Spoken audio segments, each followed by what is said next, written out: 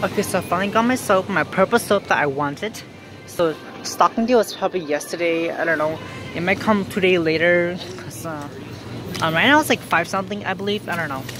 So I saw this. I spotted this.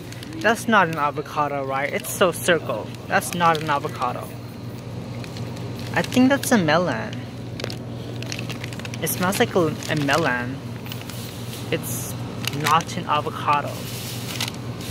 It's so circle. And then there's also these ones as well. And then here's the other variety. This one has three because it's big. So they judge by the size. So um, dick size does not matter, bitch. Okay. Of course, he at 249, but there's only like four or five in there, so it depends how big the size is. It's only four counts. What's 249 divided by four count? This needs to be $1.99 again. Because the $1.99 is way better.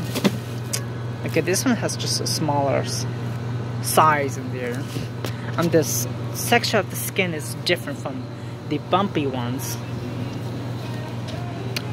It's still always two pounds. It's, it's always 50 cents a pound there because it comes in a two pound. They pre-measure it, so any salad? Should I get some salad?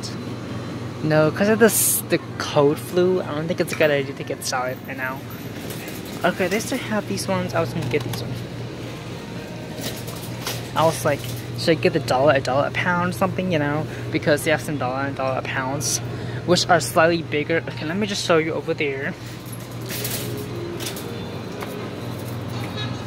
These ones.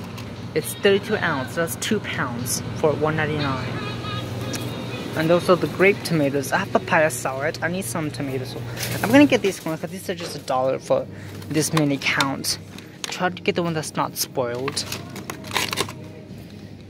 And it's full in there. Make sure it's not rotten. Make sure it's not moist. Make sure it's just perfect. Make it down a little bruise right there in the middle, the second middle, second row, two times three, whatever you say it. It's a little bit bruised. Maybe get the smaller ones. I might get this one. If it's not bruised, if it's hard and solid like a dick. I don't know. Okay, I'm gonna get this one. This one's a little solid. Let me get that one says $3 total right there. Let's go browse in the snack aisle. $4 for a 10 pound bag. A lot of the name brand cereals like Kellogg's and off brands, Uncle Sam, I don't know, etc. Most of them are $2, so. The smaller ones are a dollar.